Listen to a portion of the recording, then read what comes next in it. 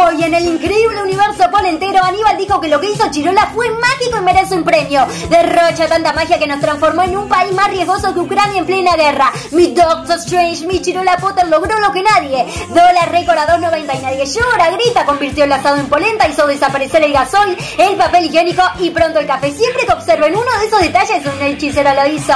Con sus polvos mágicos hizo que las focas aplaudidoras militen el ajuste, sí, ajustan, pues les cuesta pronunciarlo. En el Chirola verso la guerra la inflación se combate con el Wingardium Leviosa a los precios. Mil mangos ya no alcanza ni para un tarro de café. Es que te has convertido en un lujo de oligarca. La excelentísima reina polenta ya cobra cuatro palos de jubilación y a vos te aumentan el impuesto al dólar tarjeta, turista, cumpa. Decile chau chau a la escaloneta, chau chau Stranger Things y hola a paca.